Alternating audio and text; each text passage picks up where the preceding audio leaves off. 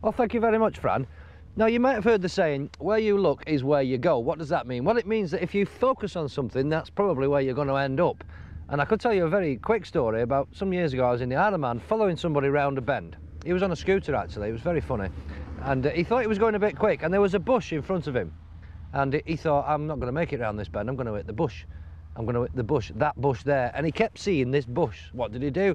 He rode straight through the bush. It was very, very funny, actually. I was behind him. Uh, nobody was hurt. He was only going quite slowly when he hit it. But the fact is, had he thought, I'm going a bit quick round this bend, I'm going to hit that bush, where else can I go? Can I go in a gap there? Is there a gap there? Can I avoid it? And, and focused on a gap, he would probably have gone there. If he'd have found an escape route and focused on it, that's where he would have ended up. But he didn't, focused on this bush, bang, straight to the middle of it. Highly amusing for everybody behind him, I must say.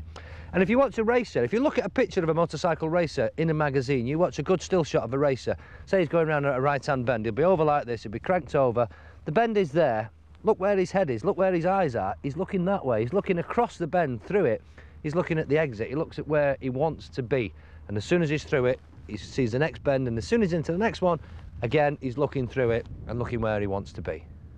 So here we have a left hand bend right? So we get to this point. So by the time we get here and we're going into the bend we've already lost our speed we've adjusted our speed we're at the right speed we're in the right gear and we've also completed all our braking. We don't want to be braking in the bend. When we get to this point all we want to be worrying about is where we're going. So where are we going? Well we'll go where we look. So where should we look? Straight ahead there's a wall and a road sign. If that's where you look that's where you will end up. Believe me, don't try it, but it does work, I can tell you from experience. So we look around the bend, we look up here, across this way. We look to our exit, we look to where we want to be.